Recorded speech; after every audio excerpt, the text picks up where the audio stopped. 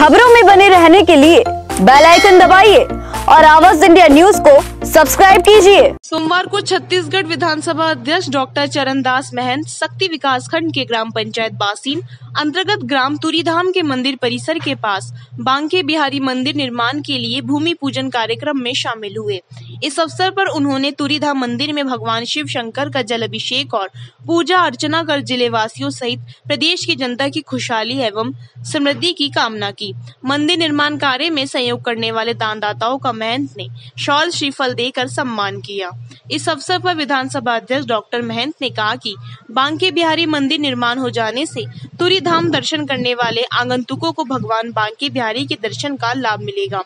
उन्होंने कहा कि मंदिर सामाजिक एकता, सद्भावना और समाज के विकास का मार्ग प्रशस्त करता है। उन्होंने कहा कि हमारे मन में समाज सेवा का भाव होना चाहिए। पर्वत, नदी, पहाड़, इन सभी स्थानों में देव का वास होता है। डॉक्टर महंत ने सभी से कहा कि वह प्रकृति के संरक्षण और संवर्धन में अपना योगदान अवश्य दे। उन्होंने ये भी कहा कि जीवन को सफल बनाने के लिए अच्छे कामों में अपना योगदान अवश्य देना चाहिए। भूमि पूजन कार्यक्रम के दौरान उपस्थित सभी बहनों के द्वारा महंत जी को राखी बांधी, राखी बांधने वालों में गीता देवांगन, कांग्रेस महिला कमेटी जिला अध्यक्ष सहित उपस्थित महिलाओं ने विधानसभा अध्यक्ष को राखी बांधकर रक्षाबंधन की शुभकामनाएँ दी।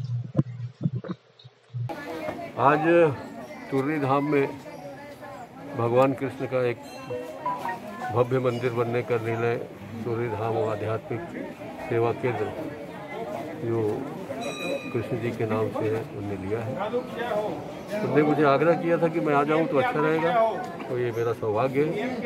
आज कृष्ण जी की मंदिर के शिला पूजन के अवसर पर मैं आया हूँ। मुझे बड़ी प्रसन्नता है। यदि हम लोग भगवान कृष्ण के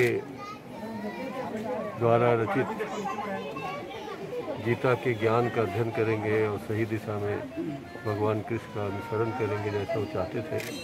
तो यहाँ का सिर्फ़ पशु, आदमी ही नहीं, हम सबका कल्याण कर सकते हैं। यहाँ के पशु, पक्षी, पेड़, पौधे, पहाड़, नदियाँ सब ईश्वर के रूप हैं। हमें उसी रूप में दर्शन करना चाहिए तो सबके प्रति वैसा ही व्यवहार होना चाहिए। ये मैं समझता हूँ।